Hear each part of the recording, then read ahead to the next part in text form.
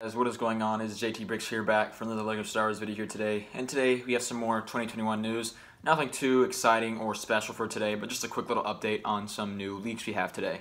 So the first thing we have today is a look at these LED key lights for LEGO Star Wars. What's interesting about these is all of these obviously have kind of these old molds or prints on these minifigures. There's a bunch of different ones here. They're LED lights, keychains, that kind of thing, right? And all of them have the old like molds and prints for the minifigures, right? The Stormtroopers have the old kind of classic helmet mold and prints on them. The Darth Vader has the old helmet, it looks like. And the Darth Vader also looks like he has like a red sweater, like a Christmas kind of thing. I don't know, that's what I think. Some of them don't have that.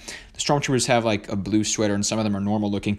So I'm not exactly sure what this is. Maybe these are placeholders or something like that. But for now, these are supposed to be some LED key lights or key lights, keychains, and some LED lights and such. And it's kind of interesting. I don't think Lego's done this for a while, so to see these is kind of neat. Um, again, they look kind of Christmas themed, if you ask me. Like Darth Vader has the Christmas sweater there, but still really interesting. Again, um, not exactly sure what these are going to look like whenever we get a real reveal, or if these even are real, but I think they are.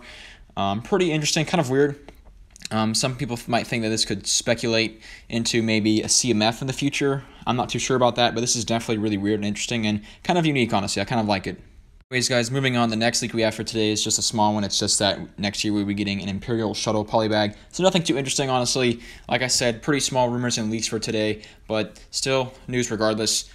I'm pretty interested by this kind of like keychain stuff. I'm not exactly sure what those are going to look like, but you know, we'll have to see when the official reveal comes out. As for the polybag, though, I'm not really too excited.